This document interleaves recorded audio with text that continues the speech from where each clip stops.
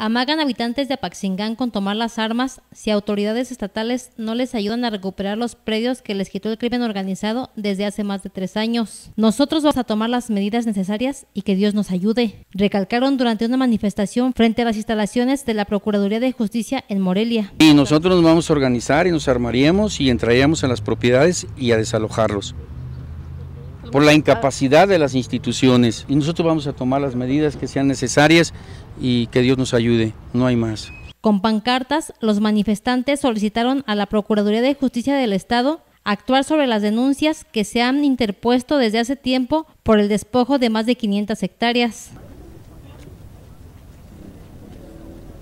Eso es un promedio de 500 hectáreas. Eh, quienes representaba al crimen organizado para las invasiones de las propiedades en Apatzingán era el comandante Tonatiu, famoso licenciado Marcelo Valencia Álvarez y Juan Avilés Ruiz.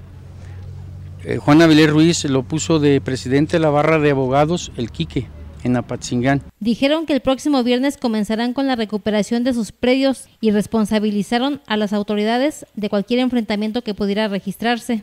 Para Cuasar TV, Sandra Sáenz.